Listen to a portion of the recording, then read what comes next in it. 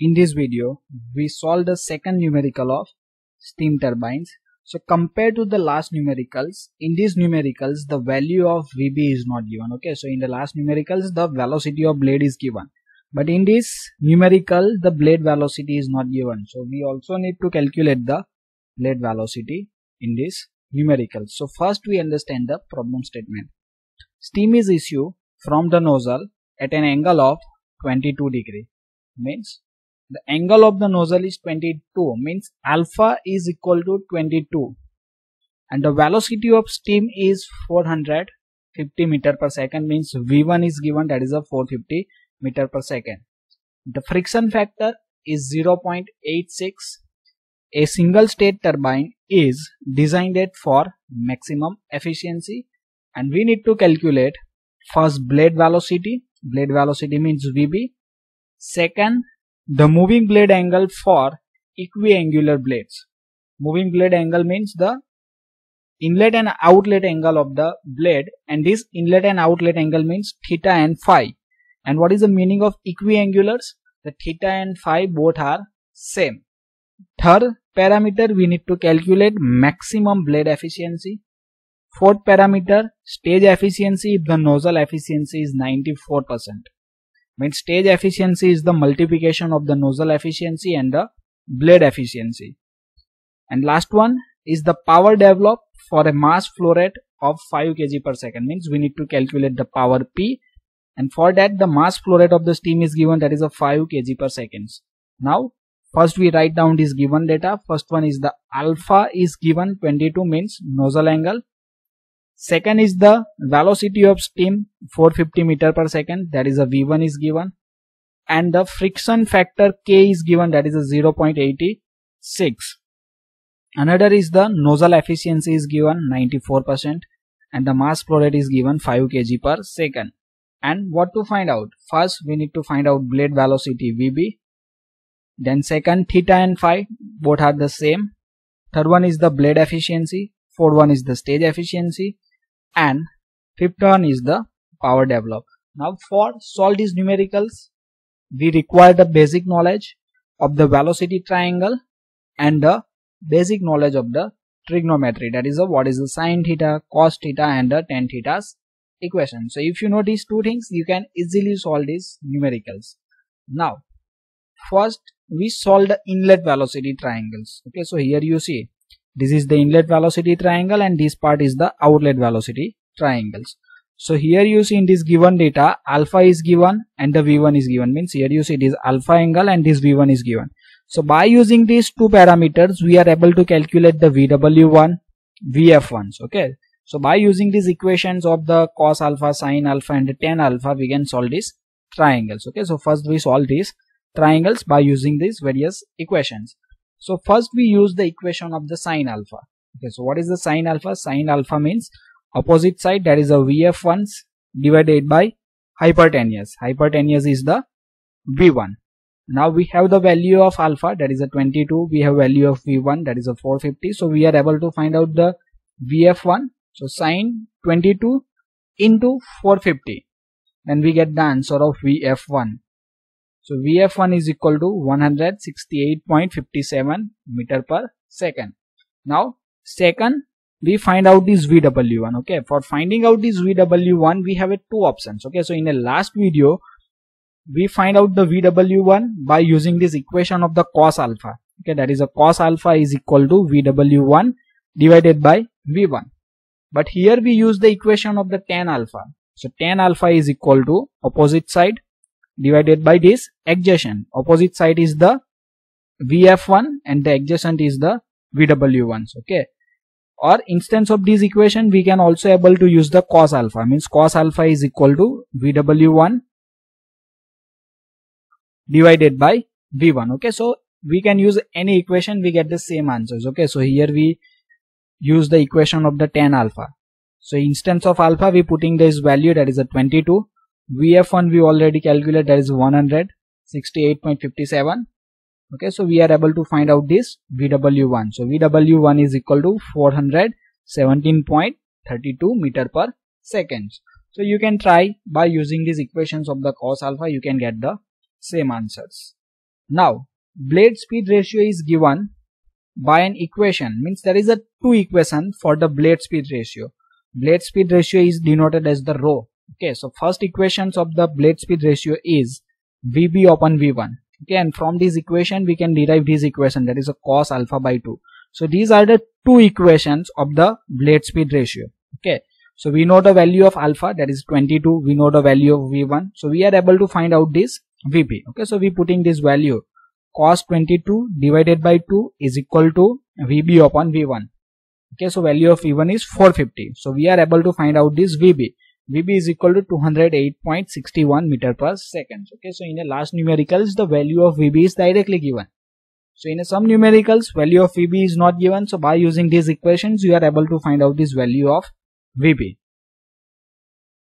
Now, so this triangle is over means first triangle that is the alpha angle triangle is over. Okay, now we use this triangle to find out these further parameters. Further parameter means we find out this what is the theta and what is the VR1. So now tan theta is equal to VF1 divided by this portion CD that is the adjacent of this theta. Okay. So this CD is equal to the VW1 minus VB. Okay. So why we use the equation of the tan theta? Because here we are not know the hypotenuse. Hypotenuse means we are not knowing this VR1. Okay. So we only know the two side that is adjacent and the opposite side. So by default we just we need to use the equation of the tan theta. So tan theta is equal to this equation. So we putting this value of VF1. Then after we putting this value of VW1 and the value of VB. Then we are able to find out this theta. So tan theta is equal to 0.808. Then after theta is equal to tan inverse 0.808 then we get this answer theta is equal to 38.945. Okay and in this calculate portion second point dimension that is a equiangular blade means theta and phi are same. Okay. So value of theta and phi both are the 38.94 degree. Now we calculate this VR1 by using these equations. So we can use the any equation related to the sine theta or cos theta. Okay, by using the both the equation we are able to find out VR. Now before moving ahead, I request to like the video and subscribe my channels for watching the more video related to power plant engineering and other subject of this mechanical engineering. For power plant engineering, various link is provided in descriptions as well as in a car. For other subject, I request to visit the playlist. Now, we calculate this VR1 means the relative velocity.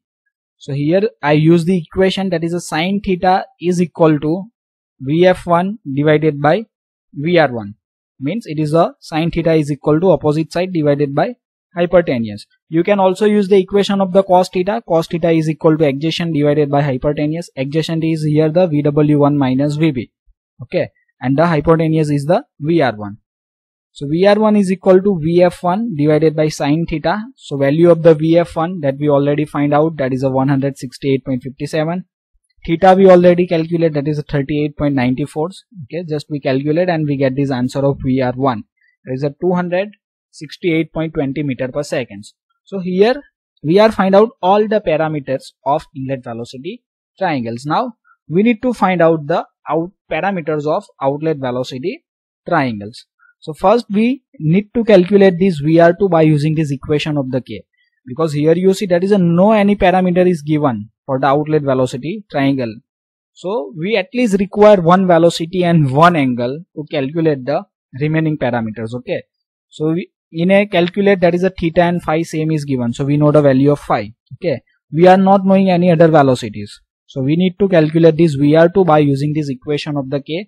K is equal to vr2 upon vr1 and here we already putting this value of vr1 that is a 268.20 so what is the answer of vr2 vr2 is equal to 230.65 meter per seconds okay. So now we know the two parameters. So by using these two parameters we are able to find out all other parameters okay? So just we calculate this vw2 because other parameter is not required to find out this power blade efficiency and the stage efficiency. So we solve this triangle that is a def okay? So we apply this equation of the cos phi because we need to calculate this vw2 and when we apply this equation of the cos phi this side is coming because cos phi is equal to adjacent divided by hypotenuse so adjacent is the VW2 plus VB. So here we mention cos phi is equal to VW2 plus VB divided by hypotenuse that is a VR2. Now we know the value of phi it is 38.94 VW2 that we need to calculate VB we already find out it is a 208.61 divided by relative velocity at the outlet that is VR2 230.65 and we get this answer VW2 is equal to minus 28.6 meter per seconds okay? So we are not required this parameter vf2 and this v2 okay? So we are not calculate it now third parameter we need to calculate maximum blade efficiency. So equation of the maximum blade efficiency is the cos square alpha okay?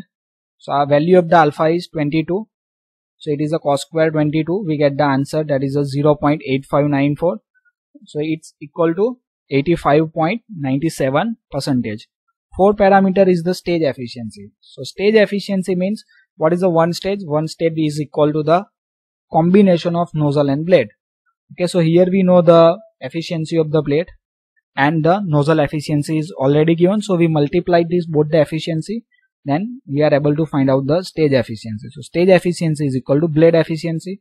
So what its value? It is 0.8597 nozzle efficiency is the 0.94 so we get the stage efficiency. It is the 80.81 means we get the answer 0.8081 we multiplied with the 100 then we get the it is the answer is 80.81 and the last parameter is the power developed p.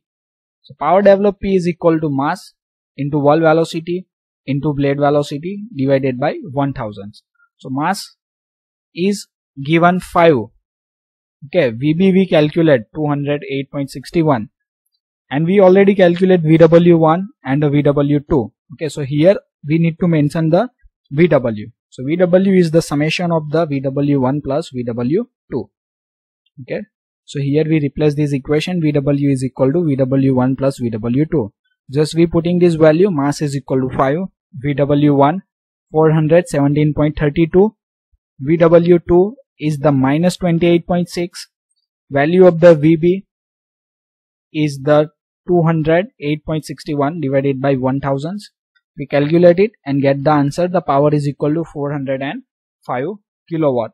So thank you for watching this video. If you learn something then like the video subscribe my channels and don't forget to share with your friends